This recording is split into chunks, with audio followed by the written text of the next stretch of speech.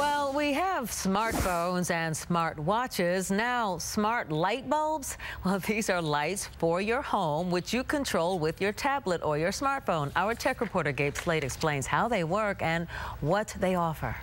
This is the LIFX Smart Light Bulb. It's really easy to use. You don't need an electrician to install it. You don't have to mess with any of the wiring in your house. It's plug and play. You just take it out of the box and screw it in like a regular light bulb. It can replace any light in your house. Once it's screwed in, you download the free LIFX app to any phone or tablet. When you launch the app the first time, the bulb and the app sync to your home Wi-Fi. From then on, when you open the app, you get this home screen. That's where you control your light bulb. You can do it from anywhere in your house on the device. Swiping up and down easily adjusts the brightness level. You have an entire color wheel to choose from, 16 million different colors at your fingertips. It's fun. It's like painting with a light bulb. Red, orange, blue, purple, whatever you want. They have several cool special effects you can do with the light. Relive your college dorm days with the lava setting. It makes the bulb act like a lava lamp, slowly dimming between different colors. There's a strobe light effect, great for a Halloween party. You can control multiple bulbs from the app. You can control all the lights in your house. And you can set a time for them to turn on or turn off. You could wake up to special lighting, a nice easy on the eyes low setting,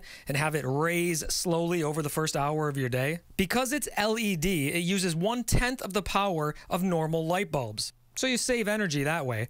And the LIFX bulbs last up to 40,000 hours. That's 27 years if you use them four hours a day. So a lot of use out of these puppies, but one downside, they are expensive compared to regular bulbs. They cost $100. Gabe Slate, KRON 4 News.